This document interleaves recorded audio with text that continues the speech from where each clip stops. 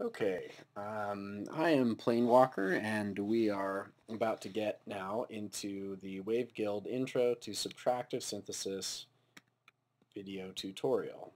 So we'll start out here with our presentation. Um, subtractive synthesis.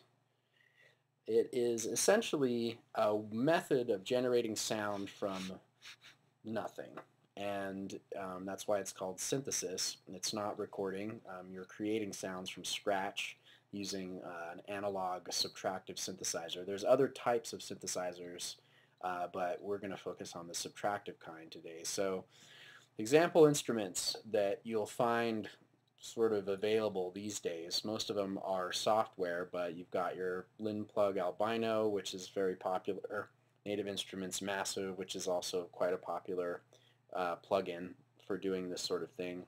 Also the Pro 53, Propellerhead Reason Subtractor, Ableton Operator, which is partially FM, but you also have stuff like the Logic ES1 and ES2, but um, that's actually what we're going to get into today, but those are program specific. Um, so anyways, that's what your software is.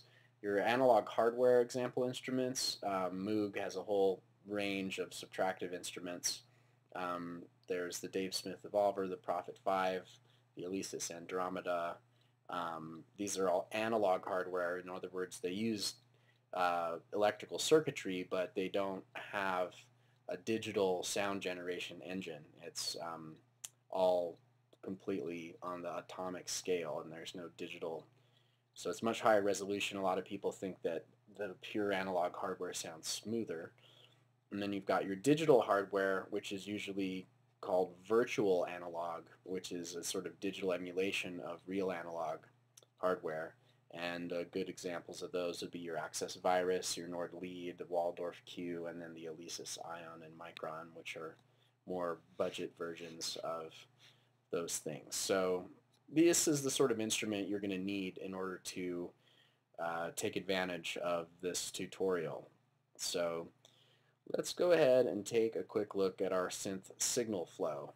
You have a bunch of different components here uh, that you are going to use for creating your sound and you need to know what each of these things does if you're going to properly utilize the instrument. So everything starts out with your oscillators. The oscillators generate a raw sound um, waveform and you can think of it in a similar way to if you are going to uh, make a sculpture, for example, you're going to start out with a block of something, like a block of stone or a block of wood or um, something like that, right?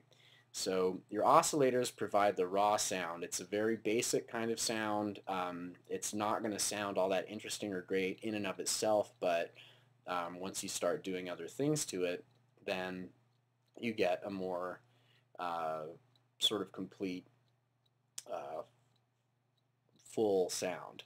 So you're not only limited to one oscillator, you can use more than one. Usually you're going to be using at least two and sometimes three or four, depending on the synthesizer. Uh, most synthesizers give you at least two, some only one, and then some have dedicated oscillators for generating a noise waveform or a sub uh, harmonic waveform. So you will be using these as your raw sound. All of these signals get mixed together in some kind of mixer and that will create a kind of composite waveform that you will then run through a filter that's going to take out some of the frequencies in that waveform. So the filter is kind of like your chisel for your block of stone. It, it takes things away and thus is why it's called subtractive synthesis because you're starting out with a basic sound and you're subtracting harmonics from that sound. And I'll talk about harmonics more in a minute.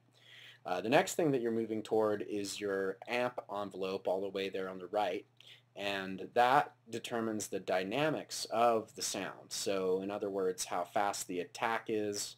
Um, we'll get more into the envelope, but you know, some sounds are very short and are percussive, you know, like a bop kind of sound. And then some sounds are more sustained, like maybe a bowed string sound might kind of come on like, kind of like that. So you've got, after that, you're going to run into your effects and then eventually to your output. Um, now, everything else that you're going to do in subtractive synthesis, aside from those basic steps that go from oscillator to mixer to filter to amp envelope to the effects and then the output, all of those have to do with something called modulation. And uh, modulation is essentially controlling one parameter over time. Um, the, the most common modulation that's done is the filter envelope, which you can see there below the filter, and it essentially changes the dynamics of the filter. So it will, it will determine over time which waveforms are subtracted and then added back in uh, as the filter opens and closes. So we'll talk more about all these components later. Um, you'll notice down here in the lower left corner you've got a couple other things. Your mod envelope, which would be some kind of modulation, and that, that will modulate a parameter. And I know that probably sounds like rocket science right now, but it's really quite simple. There's a bunch of different parameters in the synth, and they get modulated by different sources. And the two most common sources are an envelope or an LFO. And um, the LFO um, is very similar to an envelope, except it's cyclical. cyclical. So let's move on quickly and talk about our oscillator overtone series. So um, kind of an important thing to understand before you start putting sounds